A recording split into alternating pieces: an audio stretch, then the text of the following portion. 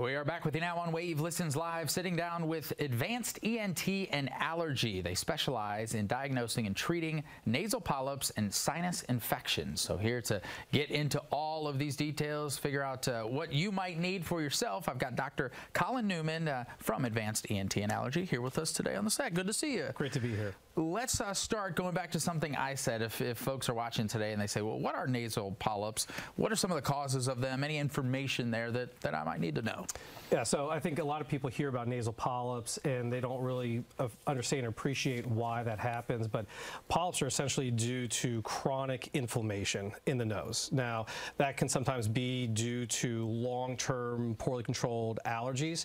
Uh, other patients may develop them because of a really bad sinus infection that just was not adequately treated. And then over time, all the inflammation, uh, irritation of the nose will then uh, develop a polyp anything we can do uh, to try to prevent this from happening? Yeah, so the simplest, easiest thing for people who do suffer from persistent congestion, drainage, the classic allergy symptoms is to manage those. Okay. Now, um, I kind of talk with my patients all the time that the problem with allergies is that on one end of the treatment spectrum, you have the over-the-counter antihistamines and nasal steroid sprays, and on the other end of the spectrum, you have allergy testing and allergy shots. There's really no good middle ground between those two. And so if I think if patients are well controlled on the over-the-counter medications, that's all you need to do. But if those are not getting somebody to where they need to be, then absolutely looking into, you know, allergy testing and thinking about allergy shots shots to hopefully prevent the, the nasal polyps. We talk about, uh, of course, being in the region that we are. Louisville consistently ranks near the top of, of worst cities for allergy sufferers. So it keeps you busy, and, and you probably see a lot of different patients that come in with a lot of different types of issues. Absolutely. And one of the other things I talk about in my patients a lot is there's this huge overlap between allergies and sinuses. And the symptoms are so similar to the two. And most of the time, it's not just one or the other. It's usually a combination of the two. And like when I talk to my new new patients when I'm um, first working them up, I use the heart as an analogy uh, a lot where, you know, if somebody has blockage around the vessel of a heart, it didn't get there because of no reason. It was usually due to poorly controlled blood pressure, cholesterol. And same thing with where long-term allergies lead to the blockage and inflammation of the sinuses. And if you want to get better long-term, you really need to evaluate both the allergies and the sinuses to get somebody better to where they want to be long-term. Obviously, coming in, uh, having a consultation, talking to an expert like yourself can help with that. But if I'm at home trying to figure out what next steps I need to take, and I, I want to differentiate between allergies and something else, like a sinus infection or the common cold, any ways to do that? Yeah, I think at home it's a little tougher. And, you know, I think my best recommendation would be what is the time frame? Um, we're usually not even going to think about a true bacterial sinus infection unless symptoms have been there for at least seven days. Um, you know, so many. Um, symptoms are usually due to viral infections, and viral infections are usually going to be self-limited within three to seven days. Um, once symptoms continue, nasal congestion, drainage, facial pain, or pressure, fevers for over seven days, that's absolutely when I would start thinking about, all right, I need to go see somebody um, because this is more than just the common cold. This is more than just my usual allergy flare-up. This isn't getting better.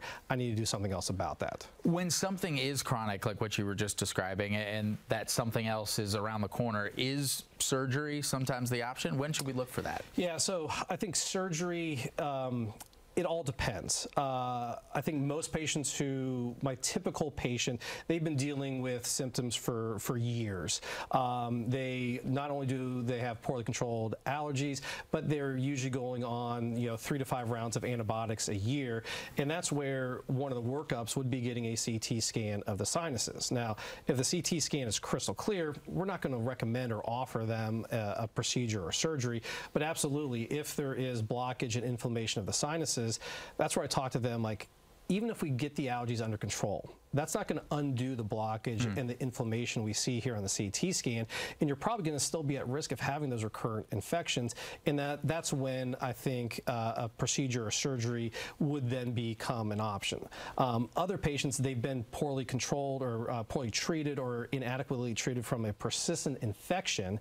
And that's usually just where one or two sinuses are impacted. And definitely in those patients, uh, procedure or surgery is probably going to be the right thing to do. It seems like as we see more technological advances. There are, are new techniques. Uh, there are minimally invasive techniques from everything when it comes to spines to, to allergies. That sometimes can be an option for in-office treatment. Absolutely. You know, if you've talked with any family member or friend who may have had a sinus surgery in the 90s or early 2000s, you, have heard horror stories, right. like all this packing in their nose, um, feeling miserable for weeks on end. Um, nowadays I, 30 years ago now exactly and to use a heart as an analogy again you know 30 40 years ago um, if somebody had a blockage around the vessel of a heart they would end up with open heart surgery because mm. that's all there was nowadays most patients are going to get a stent mm-hmm. because it's way less morbid way less invasive and the same thing holds true with the sinuses um, sinus surgery is still um, uh, a proven treatment but i would say that's for refractory cases worse case scenarios. Um, nowadays, there's something called a balloon sinuplasty, which long term has the same revision rate as sinus surgery, but way less recovery, no packing left in the nose, much quicker return to normal daily function. So I think it's a really, really great option for the right person.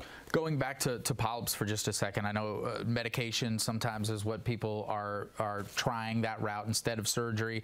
It kind of depends on the patient, right? Absolutely. So, you know, first naive surgically naive patients, you're definitely going to exhaust medical management for, right. for those people. Um, there are some patients who they've had, you know, two, three, four polyp surgeries uh, in their lifetime. And those are patients where clearly conservative standard treatment hasn't worked. And there are all kinds of new um, medications out there, biologics that can help um, prevent people from ever needing sinus, uh, polyp surgery again. Well, you are a wealth of information. I want to make sure we pop up the information if you'd like to get in touch uh, with either Dr. Colin Neumann, who you've heard from here today, or somebody over at Advanced ENT and Allergy. Take a look at your screen. There is the address for one of the sites here in town. There's also a phone number and a website. And uh, doctor, I want to thank you for being here today, My sharing pleasure. all this great info. We, we need it because the fall allergy season is basically yeah. upon us. All right, everyone, have a great day. I'll see you tomorrow.